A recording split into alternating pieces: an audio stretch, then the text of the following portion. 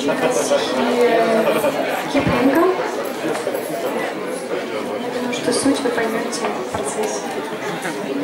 Киплинг достаточно глубокий поэт. Это одно из э, не совсем известных его стихов. Оно не имеет названия, получается первая строчка. Когда земля ни капли краски не выжжет на холсты.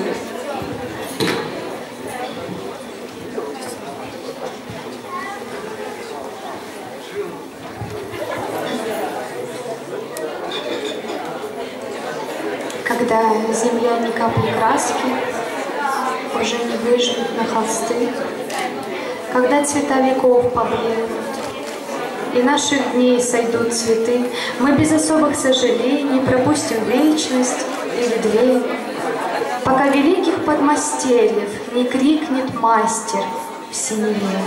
И будут счастливы умельцы, рассевшись в креслах золотых, писать кометами портреты десяток лик длиной святых.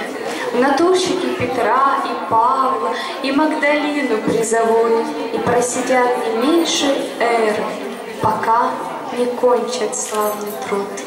И только мастер их похвалит, и только мастер попрекнет. Работников не ради славы, не ради денежных щедрот, но ради радости работы, но ради радости раскрыть, какой ты видишь эту землю, ему велевшим ею быть.